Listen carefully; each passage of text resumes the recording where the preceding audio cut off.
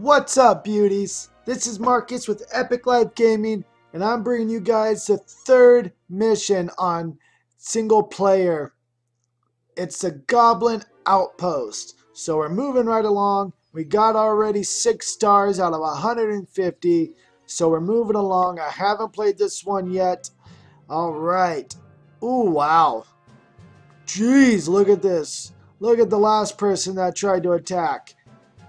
Oh my gosh. That's sad. That's sad. Let's hope this doesn't happen to us, you guys. So let's do this. They got two cannons this time. So we're dealing with two defenses.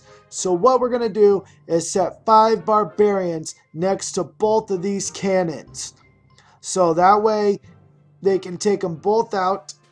So we'll go ahead, drop five right there, five on this side, and they'll go straight after those cannons. They're ripping through our barbarians. But our barbarians are tough, strong, the best of the best. So they're just taking that down. They took them both out. So there we go. Easy enough. It looked tough, but it's really not. As long as you follow my strategy, I only had to use 10 barbarians, and I had more than enough to rip through. Because you guys, there's no time limit. So you can take as long as you want. If you have all the defenses down and you only have one barbarian, you'll win as long as you want to wait. So the reason I dropped 10 is just to kind of rip through the base a little bit faster.